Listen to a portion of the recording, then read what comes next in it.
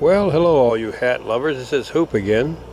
And I got a challenge to make a hat for a good friend that's going to the Galax Old Time Fiddlers Convention where they play guitars, dobros, fiddles, you name it, but old-timey music.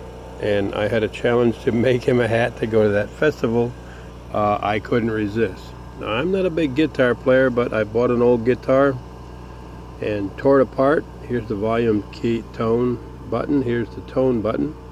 And uh, another part of the guitar.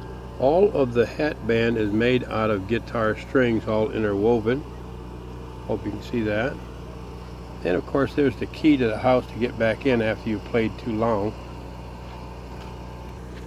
Uh, here's my here's my four-leaf clover made out of guitar picks and my guitar string tighteners you can see there's guitar strings and picks all over this hat.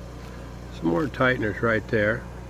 And there's a place to plug in your electric guitar. Now I'm not big on guitars, but I would love build a hat. I love building hats, guitars or otherwise. And actually this hat would not ever be possible without the kindness and help of Sarah at Sam Ash in Richmond, Virginia. He had asked me to put a couple of feathers on that baby, so there's a couple of feathers for you. And like I say, there's picks and tones and guitar pieces all over the place. Any guitar lover would certainly appreciate this hat, I believe. So there you go. It's the Guitar Picker's hat.